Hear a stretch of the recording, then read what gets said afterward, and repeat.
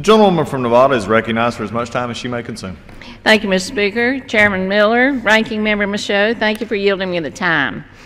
As the ranking member of the Disability Assistance and Memorial Affairs Subcommittee, I rise today in strong support of S 893 to provide a COLA increase for disabled veterans.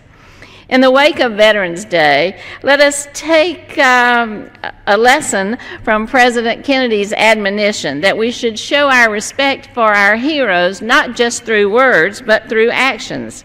This legislation is an opportunity for us to take such action. With its passage, Congress can show tangible support for our nation's heroes.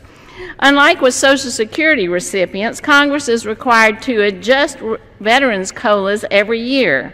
S 893 would make that important adjustment for next year.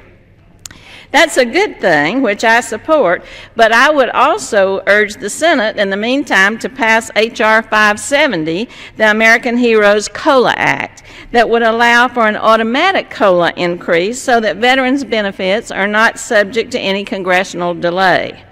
Making the adjustment automatic would remove this important benefit from the capriciousness of partisan politics or personal grandstanding. This bill was introduced in a bipartisan fashion by our subcommittee chairman, Jon Runyan, and me. It was unanimously approved by the House in May and is awaiting action down the hall. So while we await the passage of that automatic increase, passing S 893 is an important step forward. I support it.